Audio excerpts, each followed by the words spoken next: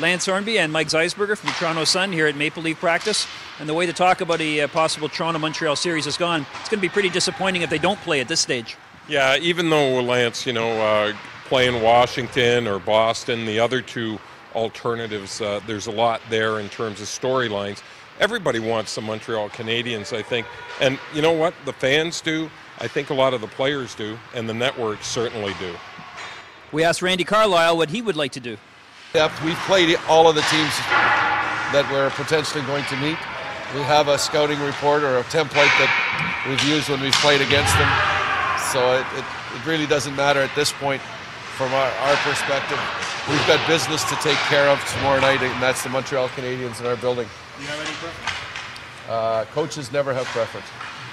Earlier today, James Reimer was named the Toronto nominee for uh, the Masterton Trophy. And uh, Mike, uh, talk a little bit about uh, this kid's journey to uh, today with the Maple Leafs, our starting goaltender. You know, uh, to think that it was only like two, two and a half years ago where he had his first start. He's really come through a lot had some injuries. We all remember the concussion.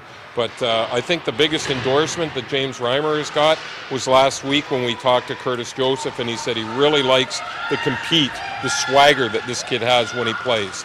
Reimer was very excited to get the nomination. You know, it's a big honor. I mean, um, you know, it's uh, it's an award about, you know, I guess pure perseverance and sportsmanship and, and, and stuff like that. So um, taking into account the, you know, the tough year and the injury I had last year, you know, it's been nice to, to come back this year. But, um, you know, I think um, most of my success obviously has to do from, from the team and, and our coaching staff here. So, um, you know, obviously it's uh, definitely a reflection on, on what we've been able to accomplish here as a team. Well, after Saturday night, it could still be up in the air as to who the Leafs play, but uh, either way, Mike, it's going to be a hell of a game.